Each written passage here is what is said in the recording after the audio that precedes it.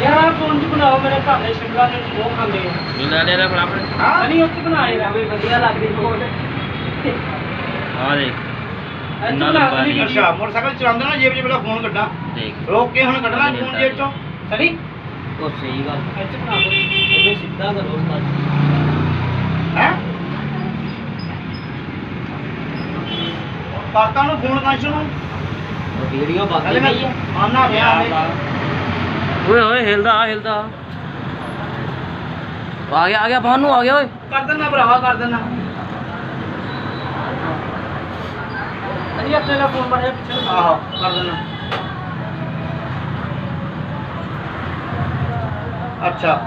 ਉਹ ਆ ਗਿਆ ਤੁਹਾਨੂੰ ਥੱਲੇ ਆ ਗਿਆ ਓਏ। ਆ ਗਿਆ ਆ ਗਿਆ। ਉਹਦੇ ਪੂਛ ਖੜਖੜਾਤੀ ਉਹਨੇ ਖਿਸਕਣ ਦੇ। ਕੀ ਬਾਤ ਅਜੀ ਆਪਾਂ ਵੀ ਪਿੱਛੇ ਯਾਦ ਆਇਆ ਹਲੇ ਆ ਗਿਆ ਕਾਬਲਾ ਨਾ ਪਤਾ ਇਹ ਸਾਰੀ ਬਹੁਤ ਵੱਡਾ ਆ।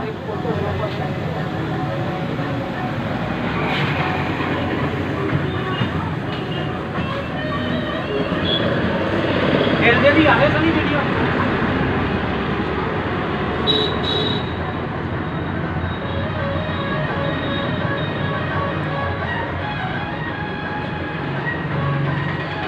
ਮੇਰੇ ਵੀਰ ਜਿਹੜੇ ਸ਼ਿਮਲਾ ਖਾਂਦੇ ਆ ਧਿਆਨ ਨਾਲ ਖਾਣ।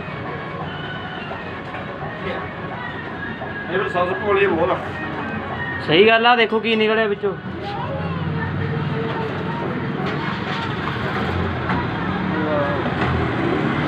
ਕੀੜਾ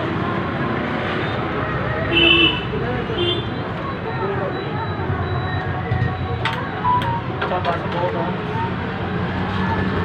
ਵੀ ਬਣਾਵਾ।